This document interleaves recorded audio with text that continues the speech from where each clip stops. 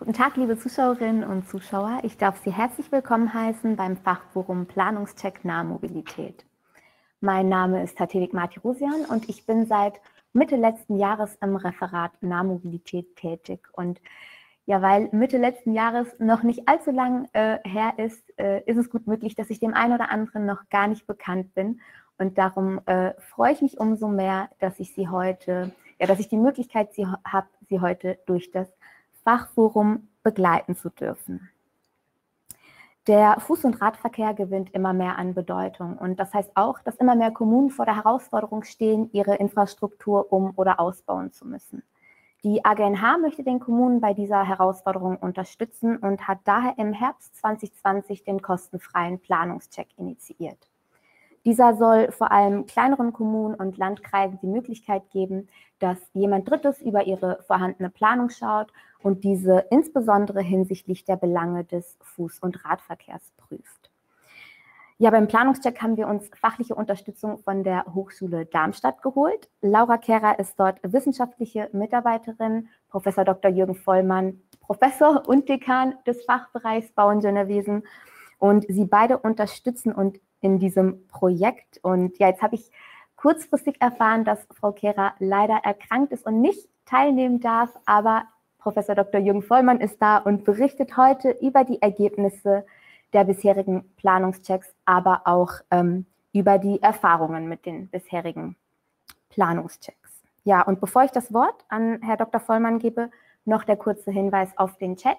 Diesen finden Sie auf der rechten Seite und dort können Sie sich während des Vortrags gern mit anderen Teilnehmenden austauschen, natürlich auch gerne Fragen an uns stellen und ja, ich werde den Chat oder wir werden den Chat betreuen, beobachten und nachverfolgen und dann im Nachgang des Vortrags noch einige der offenen Fragen diskutieren und nach Möglichkeit beantworten. Und damit darf ich schon das Wort an Sie überreichen. ja, danke schön, Martin Rosian. Ja, ich bedanke mich erstmal wirklich auch beim Ministerium, dass wir es machen durften, diesen Planungscheck Nahmobilität. Ich bin selbst seit vielen, vielen Jahren in der Verkehrssicherheit aktiv. Fast 20 Jahre leite ich auch die Gremien für die Verkehrssicherheit in Deutschland in der Forschungsgesellschaft. Und uns begegnet leider immer wieder die Problematik vor Ort, dass Planungen immer noch realisiert werden und die Verkehrssicherheitsbelange nicht so berücksichtigt werden, wie wir uns das eigentlich wünschen würden. Und äh, wir wissen alle, dass gerade wenn es dann kleine Kommunen sind, oft auch die fachlichen Hintergründe nicht immer alle so da sind, ähm, weil sie einfach gar nicht die Chance haben, sich das Fachpersonal dann auch letztendlich immer dazuzunehmen und da auch die ein oder anderen Probleme natürlich auch aufstellen. Aber das ist nicht nur bei Kommunen so, das ist auch in Büros der Fall. Und das Land hat mit diesem Planungscheck Nahmobilität tatsächlich eine Unterstützung ins Leben gerufen für die Kommunen, dass dort nochmal nach dem Vier-Augen-Prinzip eine Planung angeschaut werden kann und vor allen Dingen auch das Thema Fuß- und Radverkehr nochmal stärker eine Rolle spielen kann.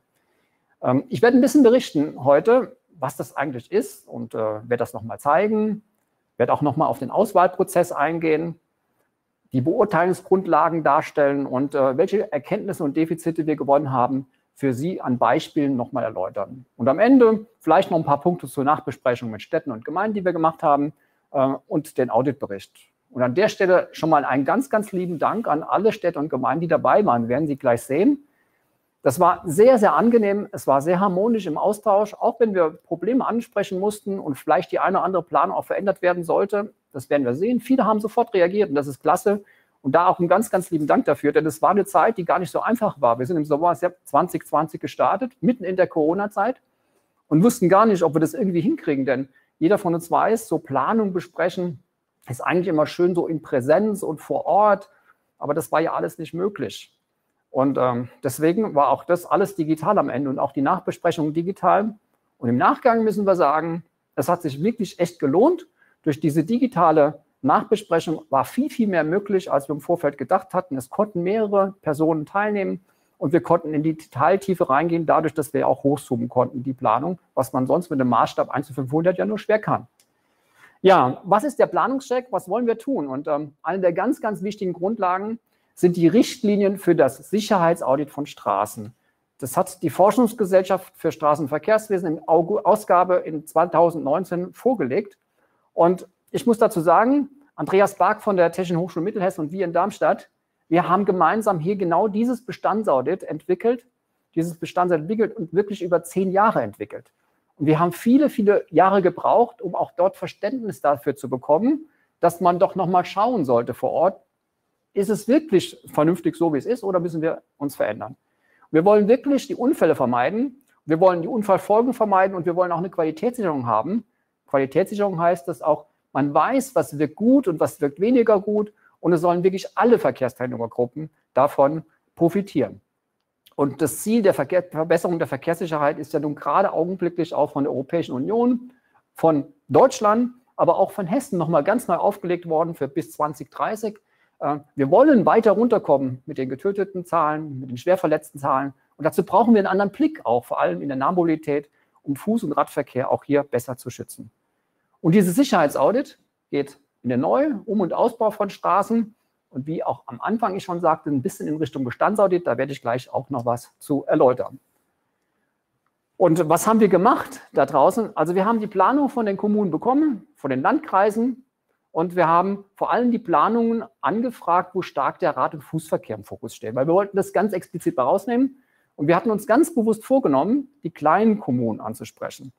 Wir sind überall draußen gewesen, haben Ortsbegehungen gemacht und das haben wir nicht alleine gemacht. Die Laura Kehrer, die heute leider wirklich nicht dabei sein kann, hat es mit Studierenden gemacht. Äh, wir haben ein richtiges Team draußen gehabt, die sich draußen zu Fuß, mit dem Fahrrad, aber auch mit dem Auto bewegt haben und auch bei den Haltestellen tatsächlich im Bus gewesen sind und sich angeschaut haben, wie funktioniert das. Und ähm, deswegen, es ist kein Sicherheitsaudit eigentlich gewesen in der, im Bestand, aber dadurch, dass wir die Planungen genommen haben, die uns vorgelegt worden sind und wir draußen waren, hat sich das tatsächlich auch so ein bisschen vermischt. Und ähm, was man auf jeden Fall sagen kann bei diesem Planungscheck, und das ist an alle Gerichte, die heute hier zuhören, es bringt Ihnen Kosten- und Zeitersparnis, wenn Sie drüber gucken. Sie müssen möglicherweise Dinge nicht doppelt machen. Sie werden nicht so viel Stress mit, den Bürger, mit der Bürgerschaft bekommen, weil im Nachhinein manche Dinge vielleicht nicht so gut sind, Trampelpfade nicht aufgenommen worden sind.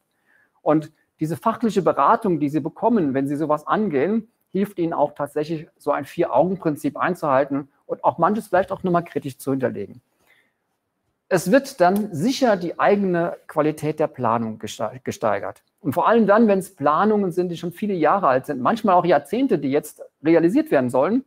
Wir wissen alle, die Ziele und Werte vor 20 Jahren oder 10 Jahren, die waren andere, als wir sie heute haben. Und deswegen auch da an der Stelle nochmal über Planung zu schauen, ist, glaube ich, ein ganz, ganz wichtiger Punkt.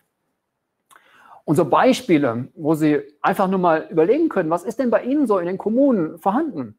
Das sind natürlich die ganzen Bau- und Erhaltungsmaßnahmen, wie die Deckensanierung. Da kann man ja anders markieren am Ende, was man tut. Da braucht man auch Pläne für. Man braucht Radverkehrskonzepte. Und da hat das Land wirklich prima Qualitätsstandards aufgelegt und Mindestanforderungen. Aber die sind auch erst seit 2020, 2021. Das heißt, Pläne, die vorher erstellt worden sind, müssten eigentlich daraufhin überprüft werden. Die Barrierefreiheit, denken Sie an die Bushaltestellen, die bis eigentlich Ende dieses Jahres alle barrierefrei sein sollten die Ampeln, die Sichtfelder und vielleicht auch unten gucken Sie den alten Mann mit dem Rollstuhl im Fußverkehr an, die Barrierefreiheit. Äh, ein Projekt mit Studierenden, wo wir tatsächlich für ein Seniorenheim draußen waren und die Wege abgegangen sind und geschaut haben, was ist denn das Problem, weswegen alte Menschen nicht mehr aus dem Altenheim hinaus wollen. Also auch Dinge, die man erkennen kann. Und so weiter und so weiter. Es gibt viele Dinge. Und bitte denken Sie daran, es sind nicht nur Ihre eigenen Pläne, die Sie in der Kommune selber erstellen, Sie geben nach Außenplanung, Sie geben beispielsweise an Investoren mit Erschließungsverträge Planung. Sie haben Gesellschaften wie jetzt hier beispielsweise HLG oder die DSK, die Pläne für Sie machen. Bitte schauen Sie drüber und auch drüber, wenn es Ingenieurbüros sind, denn auch da ist nicht immer klar, ob das Wissen schon im aktuellsten Bereich ist. Ja, den Auswahlprozess, den wir gemacht haben, Sie sehen das an den Punkten. Es gab 25 Bewerbungen aus den 23 Kommunen und am Ende haben wir 15 Schecks zugesagt, die wir machen konnten. Das Problem war, ähm, die Planungen hatten eine, nicht, eine sehr unterschiedliche Tiefe. Also mit einer Verbindung oder einem Wanderweg konnten wir jetzt nicht so viel anfangen. Das war nicht so das Ziel. Deswegen haben wir diese Kommunen leider Gottes, und das sind die roten Punkte, nicht für den Planungscheck geeignet gefunden. Aber was wir erkannt haben, ist, dass wir an der Stelle auch an den Beispielen sehen, wir müssen auch Kommunen, gerade kleine Kommunen, mitnehmen, schon ganz am Anfang. Und vielleicht gibt es da auch nochmal eine Möglichkeit, aufzulegen und ihnen die Hilfe zu geben, eine Verbindung dann auch so zu planen, dass wir am Ende auch einen Planungscheck machen können. Die grünen Punkte, das sind die Kommunen aus dem Rhein-Main-Gebiet. Vielleicht hängt das ein bisschen am Ende damit zusammen, dass die uns als Hochschule Darmstadt auch so ein bisschen kennen. Äh, das sind die, die die Zusage von uns bekommen haben, für die wir dann ganz, ganz unterschiedliche Dinge gemacht haben. Und das sehen Sie hier. Ähm, es sind die Kommunen und es sind Planungen. Die älteste übrigens aus dem Jahr 2008. Habe ich auch erst gestaunt, wie die Planung kam. Aber daran sehen Sie einfach, dass diese Planung dringend überarbeitet werden muss auf einen neue, neuen Zielhorizont. Andere Planungen lagen alle zwischen 2018 und 2020. Aber auch hier haben wir festgestellt, viele Planungen sind schon ganz, ganz früh auch in dem Gedanken, in der Gedankenwelt der Städte und Kommune gewesen. Die sind jetzt realisiert worden. Das heißt, auch in diesem Zeitraum hatten die neuen Kriterien, Mindestanforderungen des Landes noch nicht so gegriffen. Also es war noch nicht klar, deswegen es musste eigentlich an die Stellen, an dem Punkt nochmal angepackt werden. Ja, die Pläne, die wir geprüft haben, ganz unterschiedlich vom Radverkehr, vom Fußverkehr, vom Omnibusbahnhof, von der grundhaften Sanierung, also ganz, ganz unterschiedliche Dinge. Es waren immer Dinge, die die Städte selber, die Kommunen selber dann angepackt haben. Und die Beurteilung war dann genau das, diese Richtlinie für das Sicherheitsauto an Straßen. Und welche Fragen haben wir uns gestellt? Die zentralen Fragen, die sichere Benutzung der Verkehrsanlage für alle relevanten Verkehrsteilnehmergruppen. Und deswegen sind wir die Pläne und wir sind vor Ort, uns die Dinge anschauen gewesen aus verschiedener Brille, mit verschiedener Brille, als Fußverkehr, als Radverkehr, als Kfz-Nutzer, genauso wie als ÖPNV-Nutzer.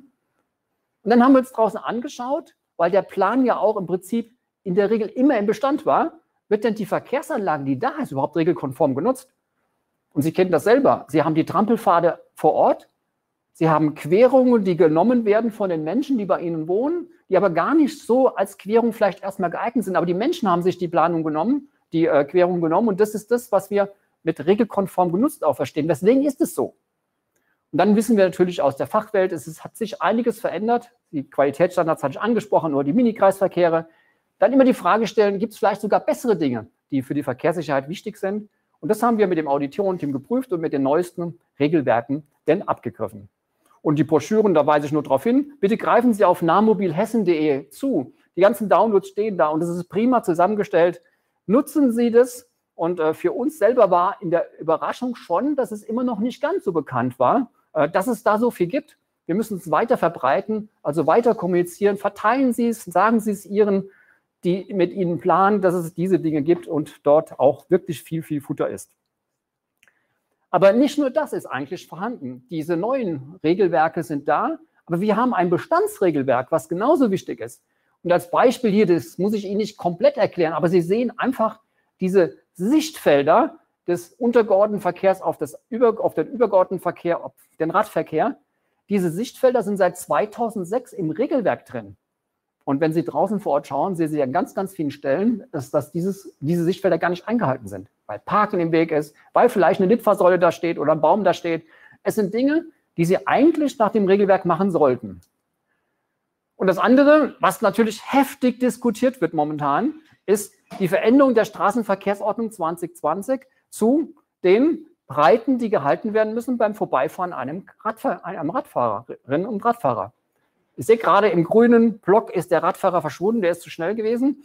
Ähm, aber im roten Block erkennt man das, was draußen eigentlich immer passiert. Da haben wir eine sieben Meter breite Fahrbahn, wie bei ganz, ganz vielen Kommunen. Ja, und dann ist dann der Radfahrerin, Radfahrer am Rand und dann überholt oder begegnet sich LKW und PKW.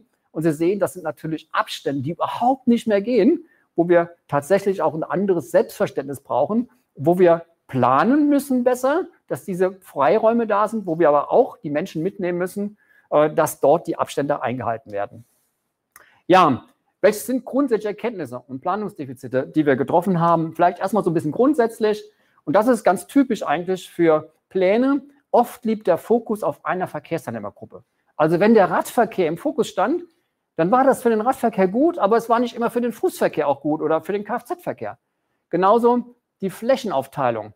Ähm, die Straßenraumaufteilung war immer noch im Blickwinkel des Kfz-Verkehrs dass man das Parken mal weggenommen hat, das wollte man eigentlich gar nicht. Man hat sich nicht dran getraut, man hat eher in Mindestmaßen gearbeitet. Und das sind natürlich Dinge, die für die Verkehrssicherheit nicht günstig sind. Und äh, es war klar, dass die Qualitätsstandards nicht immer eingehalten werden konnten, weil einfach die Planungen schon einige Jahre dann auch nach hinten liegen. Was uns aber dann auch ein bisschen gestört hat, war, dass immer mal wieder nicht so ganz klar war, wird denn eigentlich denn die Planung über diesen eigentlichen Abschnitt hinaus fortgesetzt? Das war nicht klar, da mussten wir oft nachfassen und nachfragen und auch für uns selber wieder überlegen, wie geht es denn weiter. Und Markierungslösungen muss man teilweise wirklich auch durch bauliche Veränderungen ergänzen. Das ist das, was auf jeden Fall rauskam. Und deswegen ist klar, wenn man so diese grundsätzlichen Themen hat, haben wir diese Defizite auch. Und die häufigsten Defizite sind tatsächlich die Sichtfelder. Die Freihalten der Sichtfelder. Und das ist eigentlich das, was wir machen sollten. Und dass die Breiten von Geh- und Radwegen an Mindestmaßen orientiert sind. Und ein Mindestmaß ist natürlich immer schwierig, wenn man einen Gehweg hat von 1,50 Meter und dann auf einmal noch ein Laternenmast da steht oder noch ein Kasten von Telekom da steht. Und dann sollen dann der Rollstuhlfahrer vorbeikommen. Das sind Dinge, die manchmal schwierig sind. Deswegen man muss schauen, dass man in die Regelmaße kommt und die Verkehrsanlagen anders ansteckt. Ja, Förderung des Radverkehrs zugunsten, zulasten des Fußverkehrs, das sind auch Dinge, die man nicht machen sollte. Also Radverkehr auf den Gehweg legen, das ist eigentlich nicht sinnvoll bei den Mengen, die wir eigentlich wollen für den Radverkehr. Die Barrierefreiheit war ein großes Thema und die Qualitätsstand des Landes war gesagt, wie gesagt, nicht dargestellt. Sehr große, ich glaube, Schrecken hat man, glaube ich, vor Lichtsignalsteuerung, habe ich so den Eindruck. Die Lichtsignalanlagen, die Ampeln, wie man es auf Deutsch sagt, die waren oft nicht so einbezogen. Man hat das gerne ausgeblendet. Vielleicht war das zu kompliziert, aber genau das ist ein Problem, ja, weil dort haben wir dann am Ende die Wartezeiten. Wir haben dann auch Wege, die vielleicht anders gegangen werden. Also insofern dann auch den Weg so gehen und vielleicht die Defizite abstellen. Das war unser Ziel. So ein paar Beispiele, die ich Ihnen auf jeden Fall noch mitgeben möchte. Also das Thema Fokus auf einer Verkehrsteilnehmergruppe. Links die Planung, also wir haben jetzt keine Städte genannt. Das ist einfach nur Beispiele, wie es sein soll. Links die Planung, ganz klar ist eine Fahrradstraße, ganz klar im Fokus ist diese Fahrradstraße, auch gut gemacht. Äh, autofrei, der Motorradfrei, also die, die Menschen können reinfahren, die dort wohnen. Aber Sie sehen auch die Gehwege, die Gehwege von einem Meter und einem Meter 20 und die Fahrbahnbreite sieben Meter. Da ist natürlich schon die Frage, und da muss man dann auch für die Zukunft sich überlegen, was mache ich denn eigentlich mit der Straße? Ist es richtig, diese Straße mit einem Meter breiten Gehwegen zu machen? Oder muss ich diese Straße im Querschnitt wirklich mal anders denken und vielleicht auch das Parken an der Stelle wegnehmen? Das sind Hinweise, die wir gegeben haben, die äh, in die Diskussionen eingeflossen sind, auch für die Städte. Und das hat, glaube ich, allen ganz gut gefallen, dass wir das Ihnen mal so ein bisschen in Zukunft mitgegeben haben. Das Beispiel rechts, das sehen Sie, ein Beispiel mal nicht aus Hessen, man kann auch an andere Bundesländer gucken, das ist aus Berlin. Der Leitfaden für die Umsetzung von Fahrradstraßen. Man sieht so schön, die haben an den Fußverkehr gedacht. Sie sehen die Querung für die Fußgängerinnen und Fußgänger da drin, ne? die da oben rüberlaufen, die Sichtfelder, die freigehalten sind, dadurch, dass die Abstellmöglichkeiten gemacht sind, dass Poller da stehen. Also auch solche Dinge hören auch dazu und das muss man in so einen Plan, denke ich, auch dann schön mit integrieren. Ja, und hier so ein Beispiel auch für einen Knotenpunkt, wo die, Geme die Gemeindestadt tatsächlich es wirklich gut vorhat. Sie, hat, sie möchte gerne einen Radfahrstreifen, Schutzstreifen auf der Hauptverkehrsstraße einrichten. Sie sehen das an diesem roten Schutzstreifen, der da über diese Einmündung drüber geführt ist. Sie sehen aber auch dann mit der Brille der Verkehrssicherheit diese Einmündung, die keine Ampel hat. Die Ampel ist nur unten für den Fußverkehr da.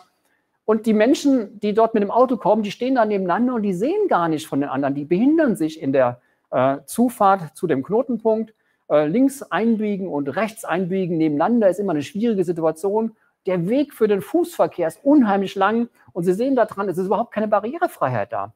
Und das war auch so ein Punkt, wo wir gesagt haben, wenn ihr das doch angeht und das überlegt, wofür überlegt ihr nicht tatsächlich auch diesen Knotenpunkt beispielsweise in eine komplette Signalisierung zu tun und sagen, wir machen das dann so wie an dem rechten Bild als Beispiel.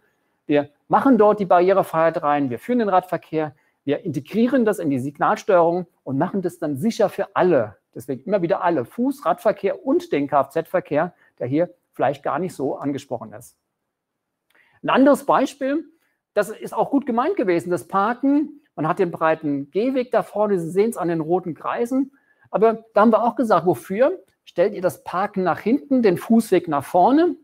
Das Problem ist jedes Mal, wenn ein Auto nach rückwärts aussetzt, wird es erstmal auf den Fußweg gehen. Und wenn dann vielleicht auch noch Kinder dort Fahrrad fahren, dann wird es schwierig. Und wenn die Autos groß sind, hat man auch nicht den Blick darauf, was hinten passiert macht es doch vielleicht so, deswegen haben wir auch Bilder gezeigt, wie hier in Darmstadt in der Grafenstraße, den Fußweg nach hinten, hinter die Autos und die Autos vorne orientiert etwas mehr an der Straße. Vielleicht gelingt es dann auch noch einen kleinen Bereich zu kennzeichnen, dass die Autos ein bisschen nach vorne ziehen können. Das kann man so schemenhaft an dem Beispiel in Darmstadt erkennen, wo Sie an der Einmündung unten diese kleine Schraffur erkennen.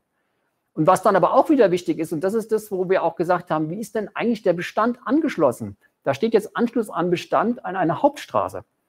Und diese Frage muss man natürlich stellen. Wie geht denn eigentlich die Fußgängerin, der Fußgänger am Ende weiter, wenn er diese Hauptstraße nutzt? Wie funktioniert das eigentlich? Was passiert da eigentlich, um auch eine Aussage zu treffen, wie sicher ist denn eigentlich jetzt diese Einmündung dargestellt? Das Beispiel mit den Schutzstreifen, ein Konflikt mit dem Parken. Und das haben wir natürlich oft gehabt, weil es ist ganz klar, in unseren Werten, unseren Zielen ist das Parken immer noch ganz, ganz weit vorne. Das ist der Gesellschaft natürlich so ein bisschen in die Wiege gelegt worden. Jeder ist mit dem Auto aufgewachsen. Wir kommen momentan in so eine Veränderung rein.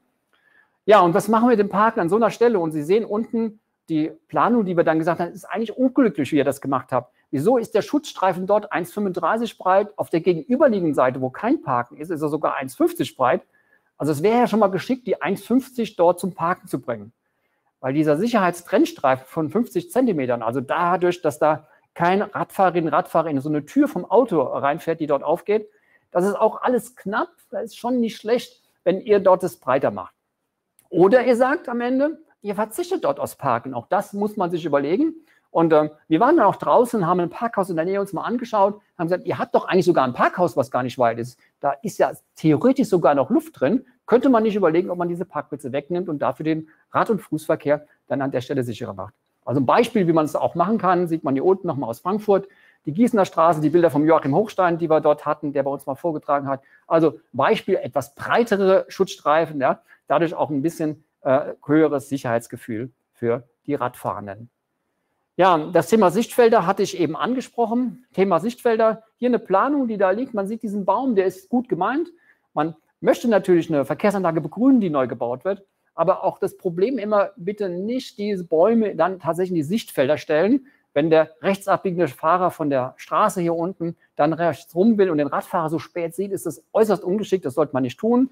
So die Beispiele, die hier sind, die Sie rechts sehen, die Knotenpunkte, ist nicht schön durch Poller freigehalten. Ja, es ist natürlich städtebaulich ätzend, aber manchmal geht es nicht anders.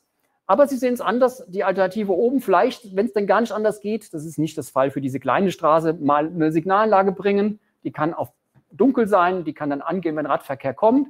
Oder aber auch die ausreichenden Sichtbeziehungen an den großen Discountern machen, denn da ist ganz, ganz viel Wechsel und da haben wir Radverkehr heute, wir haben die äh, Lastenräder, alles das, was kommt und da müssen Sie Sichtbeziehungen sehr, sehr gut gestalten und das ist unten im Bild, glaube ich, ganz gut gemacht. Ja, ein Thema für uns und das ist ganz, ganz schwierig auch zu greifen, das war die Barrierefreiheit. Ähm, ich sage jetzt hier oben Barrierefreiheit nicht vollständig durchdacht. Das ist das Problem am Ende. In welchem Planungstiefe sind wir? Das Problem ist, wenn wir einmal die Barrierefreiheit aufnehmen, muss sie auch konsequent zu Ende gedacht werden. Und Sie sehen hier hinten auf der westlichen Seite die Bushaltestelle. Dann kommt ein Parken mit Bäumen eingefasst, dann kommt eine Querung. Es sind alles Probleme, die da sind. Es fehlt die Sicht, es fehlt die klare Zuordnung zu dem Barrierefreiheit. Wie laufen Menschen darüber, die sehbehindert sind? Als Beispiel, das habe ich Ihnen auch am Beispiel mitgebracht. Ein ganz, ganz neuer Artikel aus der Straßenverkehrstechnik aus diesem Jahr die die Überarbeitung der DIN-Normen nochmal äußerst geschickt darstellt, sehr, sehr schön mit dem Auffindestreifen, mit dem Richtungsfeld für die Sehbehinderten oder dem herabgelassenen Bordstein für die Rollstuhlfahrerinnen und Rollstuhlfahrer. Also es gibt diese Beispiele und die wollten wir einfach mit den Kommunen auch diskutieren. Ja, und zuletzt natürlich diese Knotenpunkte, die leider Gottes oft da liegen, oft da liegen in einer Stadt, gerade in den kleinen Städten, Kommunen, Früher war es außerorts, heute ist es innerorts. Sie sehen einen Knotenpunkt. Eigentlich ist das ein Knotenpunkt, wie er außerorts liegt, aber er liegt in der Stadt. Und diese vielen Inseln, die Fahrbahnteile, alles das, was wir dort sehen, das ist natürlich hinderlich für Fuß- und Radverkehr. Es gibt ganz, ganz viele Wartezeiten. Ja, die Inseln sind oft nicht breit genug. Da stehen die Schülerinnen und Schüler drauf im Schulverkehr. Ähm, man hat Wartezeiten, die oft viel zu lange sind. Ja, dieser Knotenpunkt beispielsweise hat eine Umlaufzeit von 100 Sekunden. Dann kann man sich vorstellen, wie lange man dann teilweise als Fußgängerin und Fußgänger wartet, bis man rüberkommt. Das sind Dinge, die Sie unbedingt mitnehmen müssen. Wenn Sie einen Radweg nur bis dorthin planen, dann bitte auch die komplette Lichtsignalsteuerung nehmen und auch die Frage stellen, brauche ich diese Dreiecksinsel noch? Also wir können zumindest aus der Planung sagen, wir haben an ganz, ganz vielen Stellen unheimlich viel Erfolg gehabt, dass wir die Dreiecksinsel weggenommen haben und stattdessen vielleicht einen kleinen Rechtsabbiegelstreifen gemacht haben. Besser als diese Dreiecksinsel mit diesen vielen Furten und Inseln, die dann gequert werden müssen. Das rechte Bild auch ein Beispiel für eine Radverkehrsanlage, die schon lange geplant war. Sie sehen den Radweg von Norden nach Osten, zwei Richtungsradweg oben, aber der Schulweg geht unten nach Westen. Ne? Also das ist, wie kommt denn der Radfahrende, die kommen die Schülerinnen und Schüler von diesem Radweg runter, fahren durch den Minikreisel, der grundsätzlich klasse ist, aber ich muss diese Radverkehrsanlage anbinden, so dass die nicht am Ende das Fahrrad nehmen müssen und über die Zebrastreifen führen, äh, schieben müssen. Das sind Dinge, die wir nicht äh, machen sollten, die wir dann in so einer Planung, in so einem kleinen äh, Planungscheck auch sehr schnell erkennen. Ja, Sie merken dran, das waren nur ganz viele wenige Beispiele. Wir haben so viele Beispiele gehabt, ich könnte Sie, glaube ich, den ganzen Nachmittag hier unterhalten. Ähm, das geht natürlich nicht. Ich freue mich auch noch auf Diskussionen. Ich will Ihnen aber auch noch ein bisschen zeigen, wie das mit den Nachbesprechungen war, was wir mit den Kommunen gemacht hatten. Und ähm, so einer der Punkte, die wir auch ähm, am Anfang für uns selbst erstmal verstehen mussten, dieses Netz. Und das war auch der Punkt an die Kommunen, an die Frage, sagt uns bitte mal, wie eure Planung eigentlich im Netz liegt. Deswegen diese Netzgedanken, sich fürs Fuß, für den Fußverkehr wie für den Radverkehr überlegen, was ist eigentlich mein Netz, wo will ich hin, wo liegt die Planung da und was bringt mir die Planung an der Stelle. Wir haben die Sichtfelder erläutert und wir haben natürlich auch die Qualitätsstandards von Hessen Ihnen erläutert. Und dann sehen Sie, wie das war. Dann haben wir auf einer Videoplattform, haben wir da gestanden, wir haben jetzt die Kommune geschwärzt, unsere Bilder haben wir gelassen, wir haben dann da gesessen und wir haben dann diese Dinge hochgezoomt, wir haben Ihnen das erklärt. Und ich muss sagen, das waren Termine, war ursprünglich immer eine Stunde angesetzt. Wir haben fast immer zwei Stunden gebraucht. Und es hat wirklich Spaß gemacht. Und es war so ein angenehmes Miteinander. Und es war so viel Verständnis aufeinander da. Und ich kann dazu sagen, einiges wird tatsächlich umgesetzt, verändert. Ich glaube sogar die Mehrzahl, was wir gesagt haben. Und es gibt einiges, wo ich jetzt im Nachhinein auch nochmal in den Bau- und Verkehrsausschuss muss und das erläutern muss. Auch das ist nochmal spannend und das machen wir gerne mit, um auch ein bisschen zu helfen, dass was sich verändert. Ja, diese Nachbesprechung, positives Feedback grundsätzlich. Also deswegen haben alle Kommunen mitgemacht. Und jetzt ist es so, wir sind im Augenblick, glaube ich, noch vier Kommunen, fehlt es noch, oder drei oder vier Kommunen, die sind im Augenblick an der Hochschule noch dran, die letzten Berichte zu machen. Die haben den Schlussbericht von uns bekommen, die Kommunen, über das, was wir getan haben, äh, sodass sie auch was haben für sich, dann auch vielleicht darzustellen in ihrer Verwaltung. Ja, sie sehen diese Ausgangslage, Ziele, wie wir es gemacht haben, was ich Ihnen so ein bisschen erzählt habe jetzt. Wir haben die Planungsunterlagen zusammengestellt und einen kleinen Bericht gemacht. Es soll nicht viel sein, es soll ein Einstieg sein. Und ich muss sagen, es war eine tolle Sache. Ich würde mich sehr, sehr freuen, wenn das Land das weiter fördert und weiter angeht. Wir haben so viel erkannt und so viel auf einem kleinen Dienstblick auch verändern können, denn das sind alles Sachen, die wir gefunden haben, die man nicht in der Planfeststellung im Bebauungsplan ändern muss, sondern die kann man auf einem kleinen Dienstblick vor Ort ändern. Und wir haben Verständnis gefunden und äh, das hat mir unheimlich viel geholfen. Ich habe auch viel Verständnis gefunden für die Kommunen, das sage ich auch wiederum. Ja. Also auch da ihre Nöte, ihre Sorgen mitgenommen, auch die Problematik, oft, was ist für Personal vorhanden, wo ich als Hochschule auch nicht helfen kann, weil die jungen Leute, die bei uns studieren, wir haben immerhin 1500 Bauingenieurstudierende bei uns, äh, die sind alle schon ab dem vierten, fünften Semester in der Stelle. Das muss man sagen. Die sind noch gar nicht abgeschlossen, haben schon eine Stelle.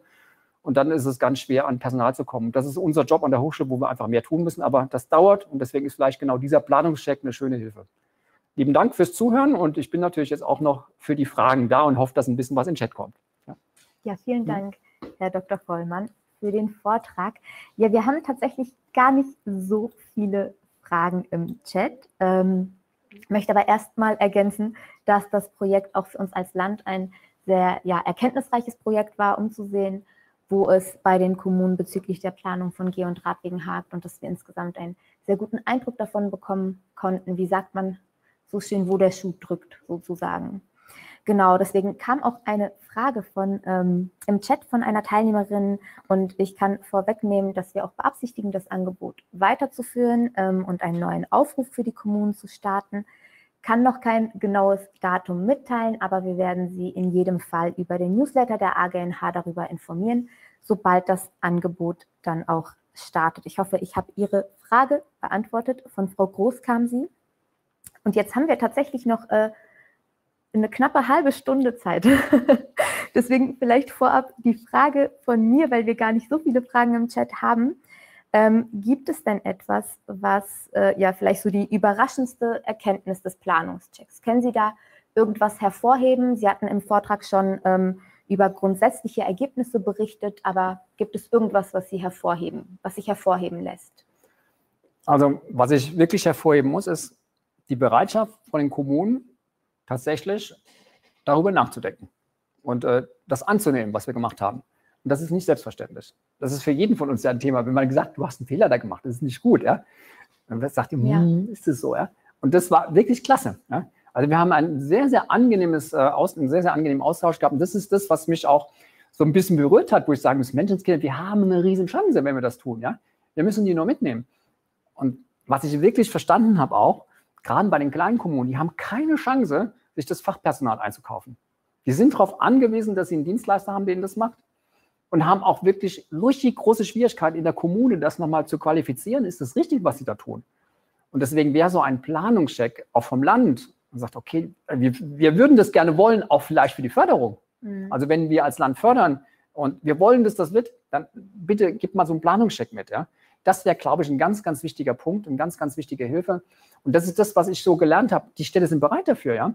Und auch die Kommunen. Und ähm, wir müssen sie eigentlich so ein bisschen anschubsen mhm. und ihnen die Hilfestellung geben. Das ist, dass da Fehler drin sind, ist ganz normal. Das habe ich selber auch gemacht in der Planung. Meine Planung, die ich in den 90er Jahren gemacht habe, muss man sagen, das gibt es auch noch. Die sind heute immer teilweise auch noch nicht realisiert. Aber ich habe jetzt schon mal gesehen, da war eine Stadt, die hat eine Schublade rausgenommen. Und die habe ich durch Zufall mitgekriegt. Ja? Da habe ich gesagt, bitte guckt auch da nochmal drüber.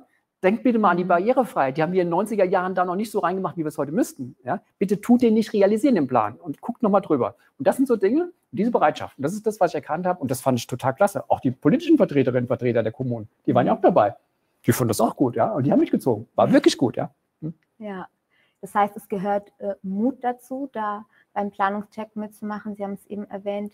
Könnte man denn ähm, wie könnte man die Kommunen denn äh, weiter ermutigen? Was, was, was könnte man denn für Worte mitgeben, ja, dass, dass das dann auch wirklich genutzt wird? Sie haben es schon gesagt, den Mut haben, das anzugehen. Den Mut haben, das anzugehen, zu sagen, okay, ich weiß, dass das sein könnte, dass das nicht in Ordnung ist, den Mut haben, es anzugehen und auch der Politik sagen, die manchmal ja auch Angst haben. Wenn der jetzt kommt von der Hochschule und der mir sagt, ich kann da nicht mehr parken, dann ist das blöd, mit, dann kriegt man den Stress mit den Vereinen, wie klein die Kommune ist, jetzt ist das auf einmal so, ja. Mhm. Also diesen, oh, diesen Mut einfach zu haben, äh, dass wir das angehen. Und das, glaube ich, können wir haben. Und das ist, haben Sie schön gesagt, diesen Mut. Und ähm, wenn wir das haben, dann kommt automatisch bei den Kommunen so wie im Schneeballsystem, also es verteilt mhm. sich. Und es gibt dann auf einmal andere, die man anfragt, man unterhält sich untereinander so wie zum Beispiel in der AGNH, was habt denn ihr da eigentlich gemacht? Oder wenn ich einen Regionalverband nehme, Runtertisch Radverkehr, ja, das sind alles so Dinge, wo man sich untereinander unterhält, wo man sich austauscht, wo man sagt, hier, hört mal nach, ja. Und das ist, glaube ich, wenn das Land das stützt, ist das gut, ja. Also es bringt uns extrem weiter ja. in unserer Umwelt. Hm? Und würden Sie sagen, dass jede Kommune prinzipiell oder grundsätzlich einen Planungscheck durchführen sollte, um äh, ja den Fuß- und Radverkehr besser zu berücksichtigen? Also könnte man das so sagen? Also nach der Erkenntnis, äh, die wir genommen haben, müsste eigentlich jede Planung mal mhm. nach dem Vier-Augen-Prinzip angegangen werden. Und es ist einfach so, wir haben aus der Vergangenheit für das Auto gedacht. Da nehme ich mich wirklich nicht aus. Ja? Mhm. Wir müssen mehr die Gruppe der Fuß, zu Fuß gehen und der Radfahren, die müssen wir aufnehmen und den Plan so durchgehen. Und am besten mal selber fahren und selber gehen.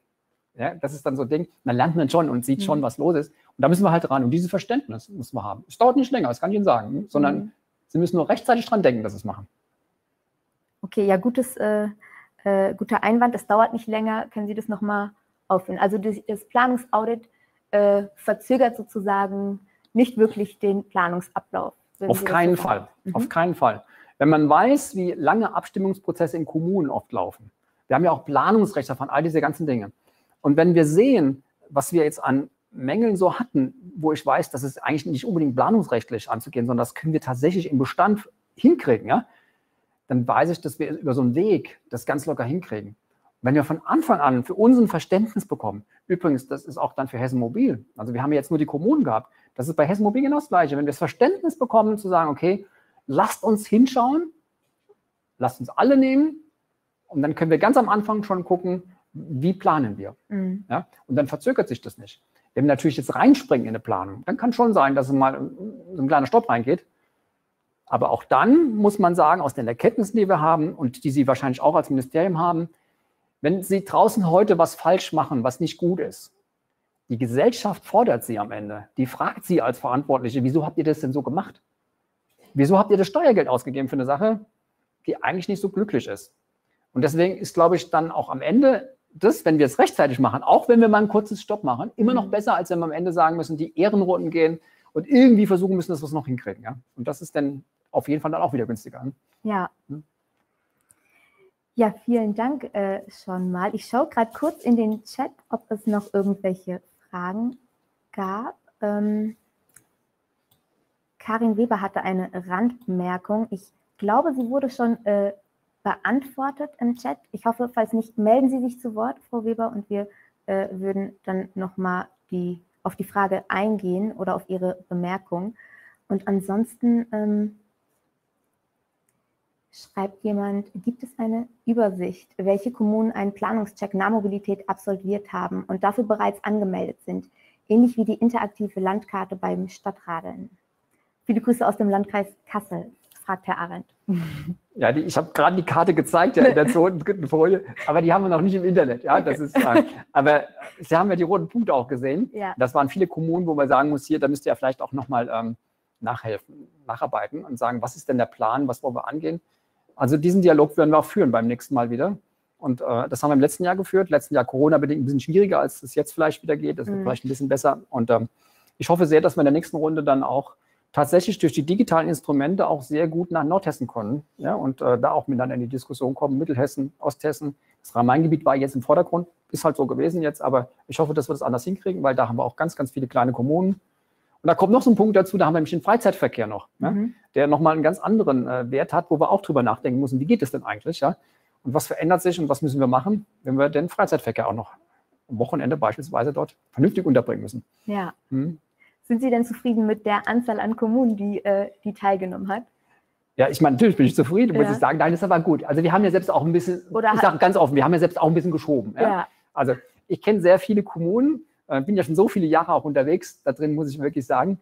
Und äh, ein paar haben wir wirklich auch gebeten, macht mal mit, ja. Und äh, mhm. ich weiß, dass bei euch eine Planung ist. Ich kenne ja die Planung, die laufen. Manche Studierenden haben es auch gesagt, hier, nimmt mal unsere Kommune, ja. Ähm, es ist es ist da schon einiges an Bedarf da und ähm, ich glaube, dass wir, dass, dass wir dort eine ganze Menge auch noch anpacken können. Ja, also würde ich sagen, das funktioniert. Hm. Äh, ja, sehr schön. Herr Mischnick, ich hoffe, ich habe es richtig ausgesprochen, fragt, wie kommt eine Kommune Stadt an Online-Tools für Bürgerbefragungen? Ja, Online-Tools, also wir haben es mit den ganz normalen Videoplattformen gemacht, die wir heute aus der Hochschule in der Lehre haben. Also ich will jetzt keine Werbung für irgendein System machen. Ja? Also einer der Systeme, die sicherlich im Land ganz ähm, groß auch gefördert wird, ist das Big Blue Button System. Also das, wo wir unsere eigenen Server haben, wo die Universitäten ja machen. Aber es gibt, also gerade jetzt von den Instrumentalen, gerade für Bürgerversammlungen noch gute Marktsysteme, sage ich ganz offen, gute Marktsysteme, wo wir als Hochschule unbedingt auf angewiesen sind, muss ich wirklich sagen. Ja? Und diese Marktsysteme nutzen wir auch. Ja, das, da gibt es mhm. wirklich gute. Er möge mich bitte anmelden. Ich möchte jetzt nicht hier öffentlich sagen, welches System ich persönlich schätze, ja. Mhm. Aber äh, ich kann Ihnen dann einen Hinweis drauf geben. Ja. Hm. Okay. Hm. Ähm, gab es in den Kommunen vor Ort, ich mache jetzt einfach mal ja. weiter mit hm. den Fragen, ähm, gab es in den Kommunen vor Ort Veränderungen, äh, Veränderungen Beteiligungsformate? Äh, ich glaube, ich habe es äh, falsch Veränderungen in Beteiligungsformaten? Äh, jeder einzelne Parkplatz kann vor Ort zum Politikum werden, sagt Frau Groß. Ja, genau so ist es. Jeder Parkplatz wird zum Politikum. Das weiß ich selber auch.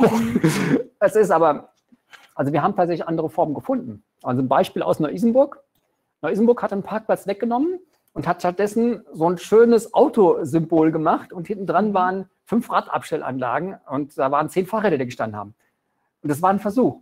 Und das war genau vor einer Metzgerei oder Bäckerei, wo man auch erst denkt, hm, ein Riesengeschrei, die holt den Parkplatz vor der Haustür weg und den brauchen wir für die Kundinnen und Kunden. Aber auf einmal hat, waren ja zehn Fahrräder mhm. da, wo vorher nur ein Auto stand. Ja? Also man muss ein bisschen motivieren. Und ich glaube, genau diese Beteiligung, tatsächlich die Menschen auch mitzunehmen, das ist nicht so, dass wir einfach so einfach planen sollten. Wir müssen die mitnehmen. Und das ist ein Punkt, wo sie raus müssen und wo ich wirklich nur werben kann, auch dafür, die jungen Leute, die in ihren Städten sind, mitzunehmen, die junge Generation mitzunehmen. Und ich kann zumindest für diese Region Frankfurt-Rhein-Main sagen, auch den Verdichtungsraum, die ticken anders, als wir ticken. Ja, also die sehen es anders, die sehen das Thema Nachhaltigkeit, ähm, die sehen das Thema, wie bewege ich mich zu Fuß und mit Fahrrad ganz anders, als wir es gesehen haben. Ja. Und da muss man die jungen Leute mal mitnehmen und auch mit denen diskutieren und da kann man eine schöne Diskussion führen. Also in Neu-Isenburg ist es wirklich toll. Also die Stadt Neu-Isenburg macht sehr, sehr viel. Ist sicherlich ein ganz interessanter Punkt, wo man auch dann nochmal Erkenntnisse sammeln kann. Sehr schön. Gibt es Hinweise auf die Finanzierungsmöglichkeiten für die Infrastruktur Land oder Bund? Ich weiß gerade nicht genau, ähm, an wen die Frage gerichtet ist. Ich glaube, an mich. ich kann Ihnen ein bisschen helfen, weil ich bin ja, bin ja im Lenkungskreis der, der AGNH drin. Es gibt wirklich viel, viele finanzielle Möglichkeiten. Das Land hat so viel Geld wie nie bereitgestellt für diesen Bereich der Nahmobilität zu stärken und dort Veränderungen in Gang zu bringen. Weil wir wissen, für unsere Zukunft müssen wir was verändern. Und das mhm. Land, bin dem Land da wirklich sehr dankbar, dass da ganz, ganz viel läuft. Und es ist, glaube ich, viel, viel mehr Geld da momentan, als überhaupt ausgegeben werden kann, weil wir einfach keine Planungskapazitäten haben. Also das Land und der Bund hat auch eine ganze Menge aufgelegt. Also was momentan auch dem Bundesverkehrsministerium kommt, man hat Scheuer manchmal ganz anders in der Diskussion, aber da hat er wirklich viel für den Radverkehr getan. Ja? Und da läuft auch wirklich viel, viele gute Dinge. Und auch da ist ganz, eine ganze Menge Geld da, ja, wo man auch daneben könnte. Und deswegen rangehen. Sie kriegen auch Konzepte mitgefördert. Dafür ist die AGNH da. Und äh, wir werden sicherlich über Hessen Mobil, über die Förderstellen dann auch Möglichkeiten finden, Infrastrukturen zu fördern. Hm? Ja, vielen Dank. Ähm, ja, wir haben immer noch eine Viertelstunde, Herr Vollmann. Alles gut. Äh, Ansprechpartnerin ist Frau Kehrer, die heute nicht genau. teilnehmen konnte. Die Laura Kehrer, genau. Sie hat jetzt, Sie seht ja hier jetzt äh, als dem Kontakt, die Laura Kehrer ist dabei. Also der tut es richtig leid, dass sie heute nicht hier stehen kann, das weiß ich. Und ich hätte es unheimlich gerne gehabt, sie, weil die hat, die hat es auch gelebt. Die, äh, Laura Kehrer ist dann auch jemand, die das auch als Person lebt und äh, zu Fuß geht und Fahrrad fährt und das sich auch anschaut und äh, da auch eine sehr, sehr angenehme Art des rüberbringt. Durch das Anmelden, durch das Anmelden, ich kann nicht überall sein, so als Dekan habe ich so viele andere Aufgaben auch noch. Mhm. Ja. Aber bitte die Laura anmelden und wir haben ganz, ganz viele Studierende, die mithelfen. Und das ist vielleicht auch nochmal interessant. Ähm, für mich persönlich habe ich gemerkt, dass wenn Studierende mit den Menschen vor Ort sprechen, eine ganz andere Diskussionskultur mhm. entsteht, wenn so die fertigen Fachplaner miteinander sprechen, was, weil die studieren, ja, das ist. Ich wollte gerade fragen, was denken Sie, woran das liegt? Ich glaube, studieren nimmt man das auch eher ab, wenn sie mal ganz provokativ was anderes denken. Das sind junge Leute, die sagen, okay, ja, die Studenten können das ja mal machen, oder Studentin, ja. Ähm, aber dadurch kommt man in die Diskussion rein. Mhm. Also diese emotionale Diskussion ist eine ganz andere, mhm. wenn Studierende dabei sind, als ähm, wenn das jetzt nur aus unserer Gruppe kommt. Das ist spannend, also die jungen Leute mal mitzunehmen. Und was ich gelernt habe, ist, wenn junge Leute draußen sind, kommen junge Leute dazu. Mhm. Und wenn ich heute unsere Beteiligungsverfahren nehme, haben wir viel zu wenig junge Leute dabei. Es ist meistens sind die Älteren da, die in den Ausschüssen sitzen, die miteinander dann auch sonst reden. Und die junge Generation ist nicht dabei, weil wir sie auch nicht so gezielt ansprechen. Also denken Sie mal an die sozialen Medien, wie die sich mitten ja, wo die mhm. zusammenkommen. Und dadurch, dass junge Leute auf einmal draußen sind, werden einfach Fragen gestellt. Und das haben wir in zwei Städten erlebt, dass tatsächlich in sozialen Medien dann auf einmal Aktion entstanden ist. Und das ist richtig klasse, ja. Weil dadurch kriegen wir mehr Generationen auch mit. Und eines, das kann ich vielleicht an der Stelle auch sagen, wo wir auch wirklich Luft haben, wir sind im Rhein-Main-Gebiet unheimlich international aufgestellt. Wir haben tolle Kulturen, wir gehen gerne in verschiedensten Nationalitäten essen. Das macht man wirklich gerne, das macht Spaß, ja. Wir müssen aber lernen, bei dem Wandel, den wir jetzt haben, auch in den Städten, die internationale Bevölkerung mitzunehmen. Mhm. Also auch da Verständnis zu finden. Und ich kann auch dazu sagen, wir sind mit türkischen oder marokkanischen Studierenden als Beispiel rausgegangen, mit Frauen wie Männern, die tatsächlich auch draußen vor Ort auch für die Sache mitgekämpft haben und beworben haben. Ja? Weil es ist nicht immer in den Familien so vorhanden wie jetzt in den Familien, den deutschen traditionellen Familien, wo man immer ein Fahrrad hat. Ja? Und das ist so ein Punkt, wo wir wirklich ran müssen und wo wir die Menschen mitnehmen müssen. Und das liegt mir unheimlich am Herzen, dass wir das hinkriegen, weil das habe ich nämlich auch gemerkt in unseren Diskussionen überhaupt grundsätzlich mal draußen sind, das sind viel zu wenig Menschen, die dann teilhaben an diesen äh, ja, Veränderungsprozessen. Ja. Und die wollen es auch. Wir müssen es nur sprachlich manchmal auch rüberbringen. Ja, das, äh, dem kann ich auf jeden Fall zustimmen. Also ich äh, bin selbst keine gebürtige Deutsche. Ich ja. glaube, man äh, sieht es und ich denke, dass, äh, dass häufig das Fahrrad ja vielleicht nicht als wie soll ich sagen, ähm, Transportmittel gesehen wird, sondern eher so als Freizeitaktivität. Ja. Also so kann ich es zumindest ja. von meiner Familie oder von meinem Kulturkreis sagen und dass da, ähm, ich kenne es äh, von anderen anders, dass es halt schon sehr früh einfach als Transport von A nach B äh, betrachtet ja. wurde und dann geht man natürlich ganz anders äh, damit um und an die Sache. Ja, also das ist wichtig am Punkt, dass wir als Gesellschaft da und wirklich uns öffnen müssen und dann kommt hinzu, das ist das, was wir jetzt auch noch den Kommunen mit auf den Weg gegeben haben, zum Beispiel im Planungscheck. Mhm. Da, wo ihr Radwege baut, braucht ihr eine Abstellanlage. Wenn keine Abstellanlage da ist, dann weiß man nicht, wo man ein teures Fahrrad hinstellen soll. die Fahrräder kosten heute alle mal ganz schnell 1500, 2000 Euro, wenn es die günstigsten Varianten sind. Ja? Und dann ist es schon schwer, wenn ich kein Fahrrad abstellen kann, dann sagt man, ja, ich kann es nicht hinstellen, wo soll, fahre ich nicht. Ja? Also auch diese Dinge. Und äh, das andere, was mir auch wirklich wichtig ist, wenn wir an unsere Gesellschaft denken, die momentan älter wird, deutlich älter wird im Schnitt. Bin ja auch nur die Generation, die jetzt gerade am Älterwerden deutlich wird. Aber wenn wir an barrierefreie Wege denken, wenn wir daran denken, wie wir, ich sag mal, Senioreneinrichtungen in den Kommunen liegen haben und äh, welche Wege Senioren gehen müssten und sehen, dass die Gehwege dann, wie das für ein Beispiel, dann auf einmal nur einen mhm. Meter breit sind, dann ist das schon auch ein Punkt, wo wir gerade im Planungscheck nochmal helfen können. Und ähm, auch da wirklich mal die Sicht derer zu nehmen, die eingeschränkt sind in ihren Bewegungsmöglichkeiten und das auch mal daraus zu gucken. Und das hilft uns allen, für uns als Gesellschaft, was den Personen mit Handicap hilft, das hilft den Kindern, das hilft eigentlich uns allen. Das ist so ein Punkt, was wir im Planungscheck wirklich auch nach vorne bringen müssen. Hm? Das heißt, äh, für äh, den nächsten Aufruf, für das nächste ja. Mal. Ich, also ich sage ich, ich würde mich sehr freuen, das weiterzumachen. Sage ich, ey, Sie merken dran, ich bin da schon mit Herzblut dran. Das ist eine Sache, die mir wirklich am Herzen liegt, weil ich weiß, wir haben riesige Chancen dazu verändern. Ja? Es wird so viel draußen gemacht. Und ich sage immer, nimmt doch die, das, was ihr draußen tut, nimmt die Chance beim, und nimmt, nimmt es und packt es an und macht es doch neu. Ja, ihr müsst mhm. es doch nicht so machen, wie es immer schon war. Und wenn wir das als Kultur reinkriegen, und deswegen wäre mir am liebsten eigentlich das Land, würde das in der, im Förderbereich mit mhm. abfragen, dass man sagt, okay, im Förderbereich, Planungscheck, ja, nein, fände ich eine gute Idee und sagt, okay, beim Ja ist das erst leicht, dann kann man schon sagen, äh, man ist auf einem guten Weg. Oder, oder man empfiehlt einen Planungscheck, das kann man auch machen. Hm? Ja. Ja. Ja, jetzt wollte ich noch was fragen und zwar, ah, genau, diese Karte, die wir vorhin gesehen haben. Sie mhm. haben auch vom Rhein-Main-Gebiet gesprochen. Äh, ich war während Ihres Vortrags äh, teilweise mit dem Chat beschäftigt, deswegen vielleicht haben Sie es erwähnt, dann äh, wiederholen Sie es einfach nochmal. Ähm, also man hat viel im Rhein-Main-Gebiet gesehen und relativ oder weniger im Norden. Gibt es da eine Begründung für oder was denken also, Sie, woran das liegt? Ich sage jetzt mal, plaudere aus dem Nähkästchen, wie es gelaufen ist. Es war am Anfang erstmal gar nicht klar, was ist denn das eigentlich? Planungscheck. Also so viel, es kam in die Corona-Zeit rein. Man konnte es nicht so richtig committen eigentlich. Also deswegen waren erstmal wenig Punkte und die roten Punkte so verteilt. Also das waren alles Kommunen, die mitgemacht haben. Und dann haben wir recherchiert und haben festgestellt, hm, das passt nicht so ganz. Also deswegen sagt man, so ein Wandern-Netz wäre jetzt nicht das Thema gewesen. Ja? Also das ist nicht, hat nicht so gepasst.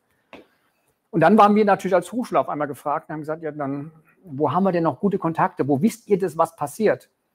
Und dann habe ich die Studierenden gefragt. Mhm. Wo wisst ihr denn, was, was passiert? und so haben wir dann die Kommunen bekommen. Und das sind ein bisschen so das Beispiel, wo denn unsere Studierenden herkommen. Ja? Und da mhm. kamen die Kommunen zusammen. Das war dann, äh, ja, ruft man mal schnell an. Frau XY, ja, äh, so ging das dann halt, ja. Und das ist aber genau bei vielen Dingen ja so am Anfang. Ne? Ich kenne viele Forschungsprojekte, wo ich ja selbst daran beteiligt bin auch, mhm. wo man erstmal die Beispiele suchen muss, ja. Und dann, wenn es mal gesetzt ist, mhm. dann finden es alle gut. Dann kommen die Freiwilliger, ja, und dann verstehen sie das auch. Aber am Anfang wusste keiner so richtig, was das ist, ja. Ja, ja und deswegen, jetzt haben wir so ein bisschen committed. Heute der Tag fand ich gut. Ich habe mich richtig gefreut, dass ich heute vorstellen durfte zum Nahmobilitätskongress. Ja, aber ich hoffe, dass ein paar dabei sind und sich das anhören und wir dadurch wieder so ein bisschen Verteilung kriegen. Deswegen ist das Rhein-Main-Gebiet halt mehr im Vordergrund. Ja. ja. Wir hatten auch viele Kommunen aus Rheinland-Pfalz und aus Baden-Württemberg gesagt bekommen, ja, weil okay. die natürlich daher aus, auch daher kommen, ne? muss man sagen. Ja. Okay, ähm, dann würde ich sagen, wir haben noch äh, knapp über fünf Minuten. Sie können gerne noch, weil wir haben, glaube ich, gar keine Fragen mehr im Chat, die jetzt so gestellt wurden. Also, liebe Zuschauerinnen und Zuschauer, falls Sie noch Fragen haben, dann jetzt nochmal die letzte Möglichkeit. Ansonsten äh, gibt es etwas, Sie haben sich ja auf den Vortrag etwas vorbereitet, was ja. Sie vielleicht gar nicht erwähnt haben und in diesen letzten fünf bis sechs Minuten doch noch erwähnen möchten? Gut, ich meine, ähm, vielleicht gehe ich mal dann nochmal in die Verkehrssicherheit rein. Ähm, wir machen auch seit vielen Jahren die Fort- und Weiterbildung auch für die Polizei. Unfallkommissionen, das kennen die Kommunen auch. Wir kennen das Thema Verkehrsschau und diese ganzen Fragen. Und wenn wir unsere Instrumente so sehen, die wir heute haben, wir haben so viele Instrumente, wenn wir sie leben könnten, Anführungsstrichen, weil wir das Personal hätten, ja, muss man auch wirklich sagen, das Personal müsste da sein, ähm, dann wäre es sicherlich leichter. Aber wir haben diese Instrumente. Und ähm, ich glaube, wir sollten diesen Ansatz, den wir jetzt denken, auch das Thema Planungscheck, wenn wir das verinnerlicht kriegen und wir in den Kommunen, ich sag mal, so, eine, so ein gewisses Auto, so einen Automatismus reinkriegen, wenn draußen jemand ist und man sagt, guckt euch doch mal die Stelle an, das kann die Polizei sagen, hier, das ist doch wirklich bescheuert da draußen. Ja? Oder auch die eigene Verwaltung sagt, die Verkehrsbehörde ist draußen und sagt, hier, das ist wirklich nicht gut. Und diese Dinge mal aufnimmt und sagt, hm, wir können das in den Planungen vielleicht mal bearbeiten. Also jetzt gerade diese Themen unter neuen Gesichtspunkten. Wenn wir so eine Kultur reinkriegen, das wäre gut. Und deswegen würde ich auch gerne neben den Bauverwaltungen auch die Verkehrsbehörden und Polizei an der Stelle mitnehmen. Sagen, lass uns das gemeinsam mal betrachten. Das sind die traditionellen Verwaltungen, die zusammenarbeiten, wenn es denn in, zu den Unfällen kommt. Ja?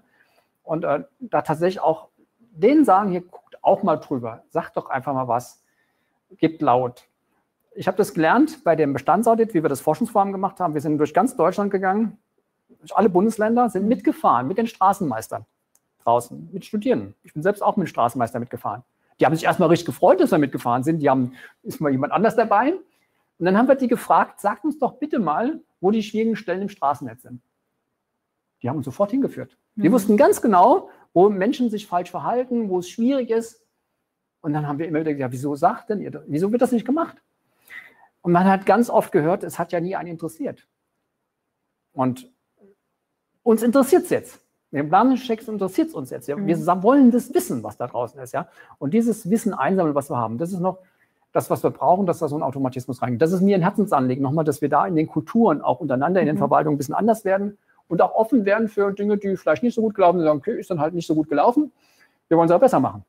Ja, man muss einen Fehler nicht zweimal machen. Das ist das, was ich mir wünsche. Also für mich selber gilt das genauso. Ja. ja. ja. Ja vielen Dank für das aus dem Nähkästchen plaudern. Ja. ähm, ich glaube, dann sind wir tatsächlich am Ende ja. des Forums. Oh, Mariose, es hat mir viel Spaß gemacht, mit Ihnen das zu machen, ja. Auch wenn Sie jetzt ganz neu auch im Ministerium dabei sind. Ich bin ja so ein Urgestein schon fast, ja. Vielleicht nicht im Ministerium, aber dann an der Hochschule hörst du zum Urgestein. Aber es macht viel Spaß. Ihnen sprüht es ja auch heraus, dass Sie da, da Interesse haben und das leben wollen. Für mich ist das, haben Sie es gemerkt, bei mir ist es genau das Gleiche. Das ist bei mir auch ein Herzensanliegen. Ich glaube, das ähm, sprüht dann ja. äh, rüber und, und dann, ja, dann, macht es Spaß. Machen wir das, ja. Aber äh, genau. Also ich wäre durch mit meinen ganzen Ich bin Fragen, auch durch, alles hatte. gut. Und, ich hoffe, die äh, Zuschauer sind auch durch, Zuschauerinnen und Zuschauer. Sie wissen jetzt, was wir machen wollen. Ne? Genau. Ja. Ähm, haben Sie Mut, vielleicht äh, noch so einen letzten Satz? Ich, ich finde das jetzt mit dem Mut, das war jetzt so das, äh, so mein, äh, ja, das Wort des, äh, des ja, Forums oder so. Das Mut machen, das Mut machen, der Mut, man, man, braucht Mut, das ist ganz klar, man braucht Mut, um diese Veränderung anzugehen. Man braucht Mut, um das nochmal zu hinterfragen. Man braucht Mut gegenüber sich selber, auch zu sagen, okay, ich bin bereit, mir von einem anderen zu sagen lassen, ob das gut oder schlecht ist. Das ist einfach Mut. Und das muss ich sagen, ist ja einem selber genauso, wenn man das hat. Und diesen Mut, den muss man haben. Aber wenn wir nicht bereit sind, mal neue Wege zu gehen, dann werden wir als Gesellschaft nicht weiterkommen. Und vor allen Dingen werden wir nicht das Thema Klimaschutz, Nachhaltigkeit, das, was wir wollen, für uns alle, eine gute Umwelt, auch für unsere nächsten Generationen, das kriegen wir sonst nicht hin. Deswegen Mut haben und bereit sein zum Umdenken. Hm? Sehr schön ja. gesagt. So. Ja, äh, vielen Dank, liebe Zuschauerinnen und Zuschauer, für das äh, Zuschauen. Jetzt habe ich dreimal Zuschauen gesagt. Ähm, in der nächsten Runde geht es weiter mit dem Fachforum Testen, ist das neue Vermuten. Ähm, es geht dabei nicht um die uns äh, bekannten Corona-Tests. Vielleicht kann ich das vorwegnehmen. Ich freue mich sehr, wenn Sie zuschauen und ähm, all diejenigen, die ich nicht mehr sehe, beziehungsweise die mich nicht mehr sehen, ich sehe leider niemanden oder wir sehen leider niemanden, äh, wünsche ich noch einen schönen und informativen Tag. Gut, Dankeschön und tschüss.